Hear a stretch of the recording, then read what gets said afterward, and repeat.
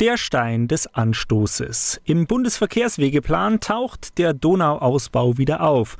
Und zwar nicht nur mit der Variante A, sondern auch mit der sehr umstrittenen Variante C280. Die Empörung bei Naturschützern und den Oppositionsfraktionen im Bayerischen Landtag ist dementsprechend groß. Deshalb hagelte es vor der Sitzung am Donnerstag Dringlichkeitsanträge.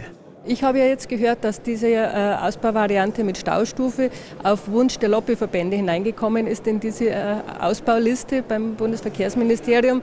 Und ich denke, wir können uns ja nicht von den Lobbyverbänden äh, diktieren lassen, welche Ausbauvariante wir hier in Bayern für die Donau wählen. Die Staatsregierung ist ja jetzt auch auf unsere Linie eingeschwenkt und dann muss sie allerdings auch Beweise liefern, dass ihr das auch wirklich ernst ist. Die Regierungspartei lehnte die Dringlichkeitsanträge der Opposition am Donnerstag ab. Begründung, die Vorwürfe seien nicht berechtigt. Die CSU stehe zu ihrem Wort, den sanften Ausbau zu befürworten. Eine Staustufe käme auch künftig nicht in Frage.